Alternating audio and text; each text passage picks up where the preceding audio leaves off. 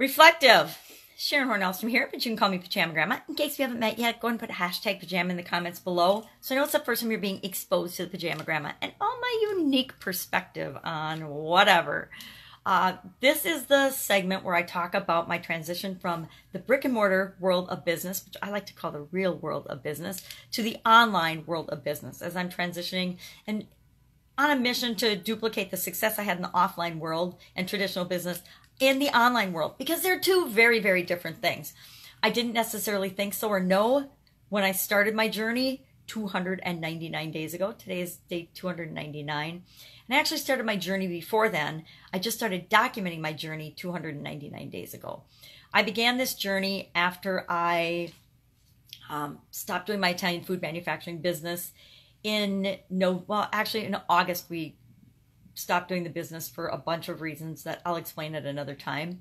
Um, many of which are just circumstances and things that were outside my control, but it was my choice to take a hiatus from that business. And we sold the building that it was located in on November 1st of 2016. So in t- really November 2016, I did a bunch of traveling um, and helped my daughter move from Montana to Colorado to be with her husband, who was um, being a journeyman lineman and did a bunch of other things, took some time off, and then quickly realized in like January, well, what the heck am I going to do? I'm I'm old, my grandma, but I'm not old enough to to stop doing anything, and I've got too much energy, so I can't just stop doing anything. So I started looking for things. I started looking online because it was easy. I was home and I could had access to the internet and like, well, what is possible? What is there to do? And I, I looked at a lot of different things, but what got my attention was a software program called ClickFunnels. And I jumped into that with both feet, became a certified partner, and started doing just different things with ClickFunnels and discovering the incredible power of taking an offline brick and mortar world and adding just a an online component to that.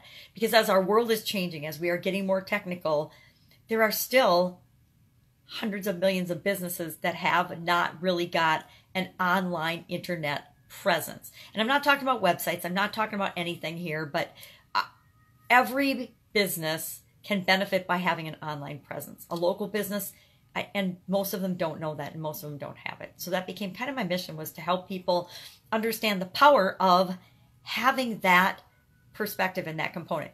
Nowadays with cell phones, which I'm filming on mine so I can't grab it and show you, the kids, my kids even, and they're in their 20s, everybody grabs a phone and as soon as they hear about a business or a thing or a brand, the first thing they do is they go online and they look it up on Google usually or whatever if it's a I don't know, I'm not an iPhone gal, but whatever iPhone's equivalent is eh, or Firefox or Bing or whatever search engine that you happen to have on your device in your hand, people immediately go look it up. And if you don't have a presence, people are not going to find you. And if people don't find you, you don't stay in business very long. So I got really excited about that and jumped into that and started learning about that and helping businesses and business owners do that.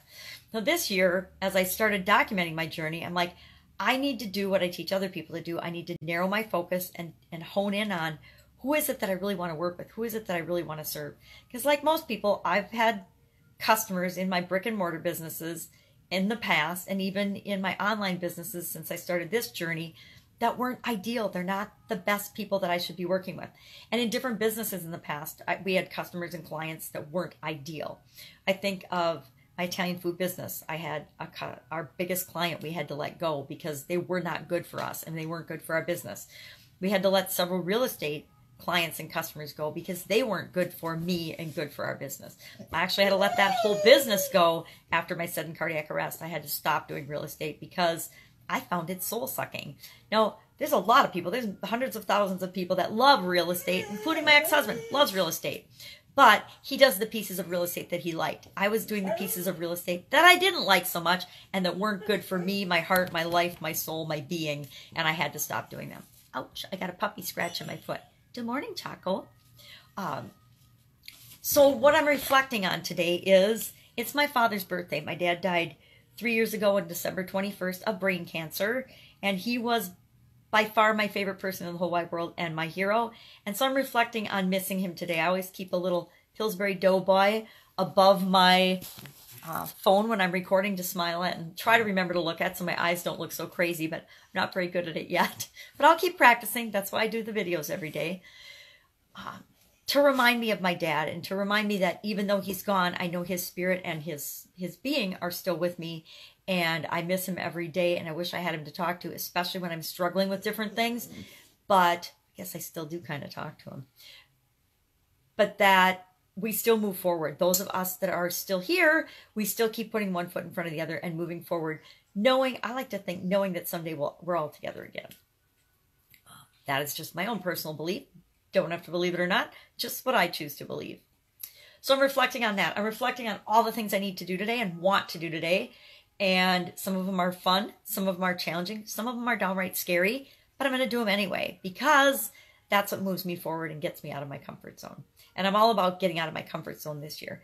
Today was day 312 of the Daily Scare Share, which is a daily um, video share that I do mostly to hold myself accountable to doing it every day. Um, going along with a journal called Do One Thing a Day That Scares You. And it's just about stretching your comfort zone, doing one little thing every day to expand and grow and be more of the person that I know I'm, I'm here to be.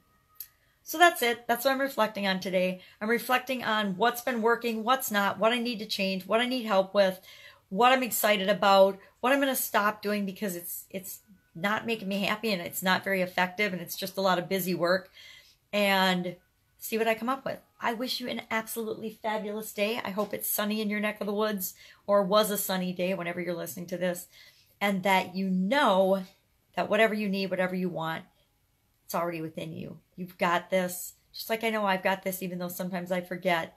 And and our life is about being ourselves and, and experiencing whatever life dishes out to us as only we uniquely can and making the best of what we can out of every situation. All right, catch you tomorrow. Bye.